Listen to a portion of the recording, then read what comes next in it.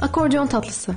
1 paket baklavalık yufka, 1 su bardağı fındık içi, 1 su bardağı hindistan cevizi, 3 adet yumurta, 1 su bardağı ayçiçek yağı, 1 çay bardağı şeker, 3 yemek kaşığı irmik, 1 çay kaşığı vanilya, 1 çay kaşığı kabartma tozu.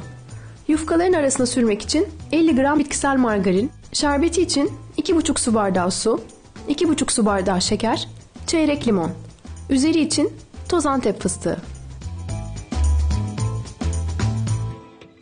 Tatlımızın malzemelerini hazırladık. Bu sırada pilavımız da böyle artık yavaş yavaş kısık Evet, ateşte onu bir pişiyor. bakayım isterseniz. Bir bak. Ben O sonra demlendikten sonra onu tabii servis edelim. Bir Evet, bak önce istersen bir şöyle yapalım. Şöyle yapalım şeyimizi mı? alalım. Bence bir miktar daha suyu var. Bir bakayım ben. Semoş bir bak. Sanki. Değil mi? Bu arada altıda tutmaması gerekiyor. Tamam. Arada bir de böyle karıştırmak lazım. Bakmak gerekiyor. Sık karıştırmamız gerekiyor. Normalde gösterelim. pilav çok sık karıştırılmaz ama Evet. bu ciğer olduğu için altı Tabii. tutmaması için karıştırması gerekiyor. Ee, Pelincim bu artık kapatmak kıvamına gelmiş. Tamam kapatıyoruz. Kapatalım ve Kapatalım. e, dinlenmeye bırakacağız. Tamam. O dinlensin daha sonra maydanozlarını ekleyip servis ederiz. Evet. Biz tatlımıza başlayalım. Şimdi Baklavalık yufkalar var. Değil mi? Evet Ondan malzeme olarak. O zaman önce nereden başlayalım? Öncelikle şerbetimizi kaynatalım. Tamam şerbeti kaynatalım şurada. İki buçuk su bardağı su, iki buçuk su bardağı şeker gerekiyor bana. İki buçuk, iki buçuk ölçümüz o zaman. Evet. Öncelikle İki buçuk su bardağı zaten orada şekerimiz var. Şöyle alayım ben onu. şekerimiz.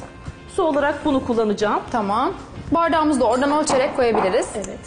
Bunu arada şerbetimizi şöyle İki karıştırarak. buçuğa iki buçuk. Genelde tatlılarda iki buçuk üç olur ama bu birazcık daha şerbeti Yoğun olacak, değil Evet mi? yoğun olacak ve e, birazcık daha kaynadıktan sonra çok az bir miktarda limon gerekiyor bana. Limon. Çok az bir miktarda. Hani o da kıvamını iki unutmayalım bu arada da. Buçuk yapacaksın. iki buçuk. Eriyecek ve 15 dakika kaynayacak bu Tamam. şekilde. Arada ben bunu karıştırırım. Arada da karıştıralım dediğiniz gibi şu anda. Tamam. O zaman ben şimdi e, iç malzememizi yapacağım. Tamam. Şuradan kabı rica ediyorum. Tamam. Bir de yemek kaşığı rica ediyorum. Rica ediyorum. Bugün çok kibarız birbirimize. Rica ediyorum hayatım, Semoş'cum. Tamam. Ne diye? Şimdi burada bir su bardağı e, fındığımız var. Var. Çekilmiş böyle biraz daha. Bir su bardağı. Ufaltılmış fındıklar var. Şöyle yapacağım. Bir su bardağı Hindistan cevizimiz var. Hmm, Hindistan cevizi de koyacağız. Bu içi bu Ay, çok tamam. severim Hindistan cevizini. Sen Bunun sever içi misin? tamamdır ve ş- bayılırım ve ben Hindistan cevizli tarifleri de çok seviyorum. En basiti böyle Çok bir seviyorum. çikolatalı puding yapıp üstüne birazcık Hindistan cevizi E, aynen. gezdirmek çok Çocuklar için mesela çok güzel oluyor. Evet. Pıdık anne illa Ama diyorlar ki tatlı mesela çok zaman. ufak çocuklara vermeyin böyle hani bebekler artık biraz daha büyüdüğünde. Belli bir yaştan sonra. biraz böyle boğaza kaçabiliyormuş Hindistan cevizinde öyle bir şey varmış. Dikkat etmek lazım. Böyle karıştırıyoruz. Bu şimdi iç harcımız. Şuraya bekleteceğim. Tamam. Orada dursun. Bir, bir adet baklavalık yufkamızı Bu arada yumurtayla şekeri çırpalım mı önce? yapalım. İsterseniz Tamam. siz çırpabilirsiniz. Ya da Dur. fark etmez. Nasıl Birlikte istiyorsanız. yapalım şurada. Tamam. Kaç Üç yumurta istersin? Üç yumurta. Üç yumurta alıyorum. Değişik bir tatlı. Hem böyle bir kekimsi e, Evet. kısmı var hem de öyle baklavalık yufkadan. Çok hafif. Ee, Ramazanlarda mesela iftarlarda falan nefis oluyor. Hani tatlı ağır geliyor ya yemeklerden sonra. Bu çok e, O zaman bu tarif not etsin seyircilerimiz. Ramazan'da da yapılabilir bir tarif. Üç yumurtamızı Evet. ekledik ve bir su bardağı şekerimizi şimdi köpük olana kadar çırpacağız. Alalım. Şunu kapatacağım. Sen bunu biliyor musun? Bizim sıçraması ne kabımız Tamam bu. evet. Evet. Hadi o zaman sana vereyim şuradan. Tamam, ben İstersen yapayım. çırp. Onu ben alıyorum. Güzelce bir kıvam alsın.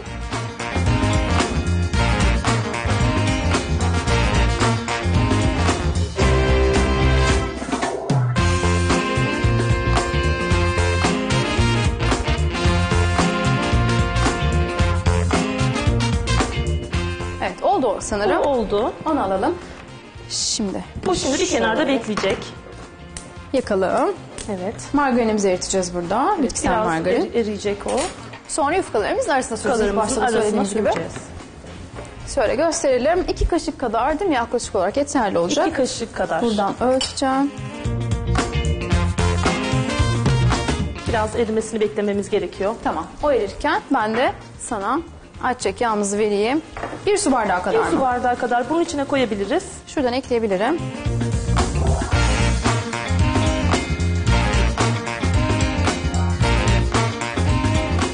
Karıştıracağım biraz. Tamam. Başta şekerli yumurtayı çırpmak gerekiyor ki Kek bildiğiniz iyicene kek erisin, gibi evet. düşünün. Kek yapar gibi. Karışımımızın içerisine 3 yemek kaşığı kadar irmik koyuyorum. İrmik.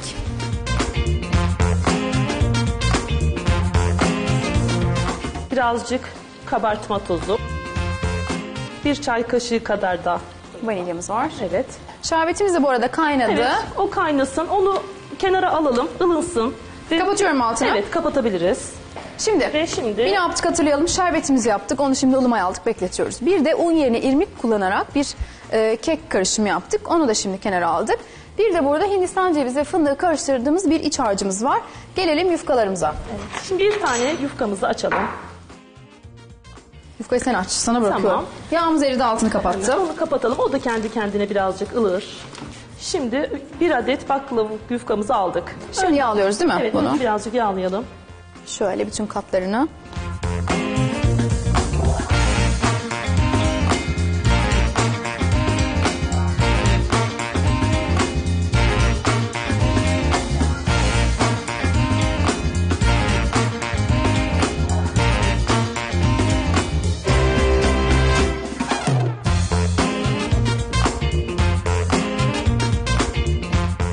Çok önemli bu detay. Şu iki parmağımızla her Büzerek alıyorsun. Evet, bu şekilde.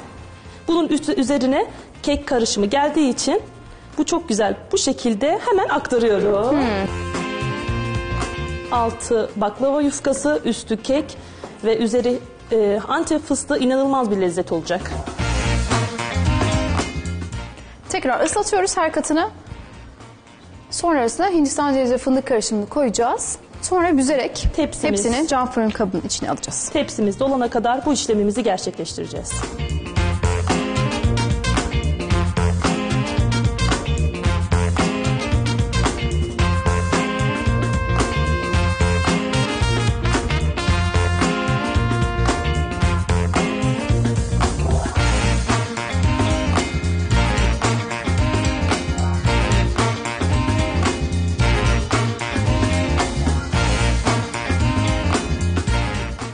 Son olarak Son parçaya Evet, geçtik. bir Bayağı da aldı aslında değil mi kabımız? e, aldı Çünkü evet 5 büzdüğümüz parça. için, büzdü- büzdüğümüz için biraz da daralıyor Evet, parçalar. Son parçamızı. Şeyimiz de çok güzel oldu. İçimiz de tam. Yettirdik. Gözümün kararı öyle. çok güzelmiş. Tamamdır. Şöyle Hadi bunu yapalım. ben yapayım bu sefer. Tamam size bırakıyorum. Şöyle her tarafına eşitleyecek şekilde şekilde. yayacağız. Şimdi böyle yapıyorum. Evet evet. Aynen çok güzel. Şöyle. Mükemmel.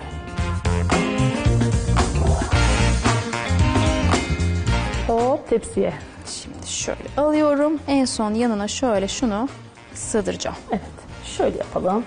Bunları da biraz içine doğru. Evet. Geldik yaptığımız kek karışımını, irmikli kek karışımının üstüne dökmeye.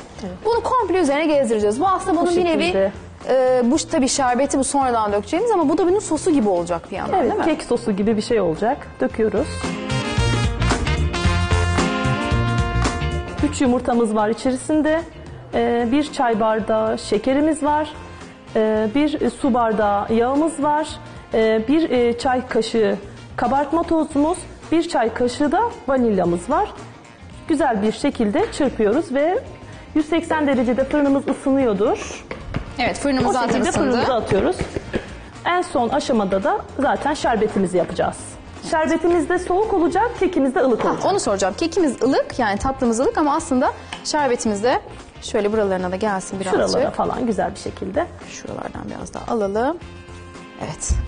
Gönderelim mi? Evet. Hadi gitsin. Çok merak ediyorum. Çok değişik bir tatlı oldu. Hadi bakalım. Akordeon tatlımızı fırına attık. Şimdi pilavımız demlenmişti. Onu servis edelim.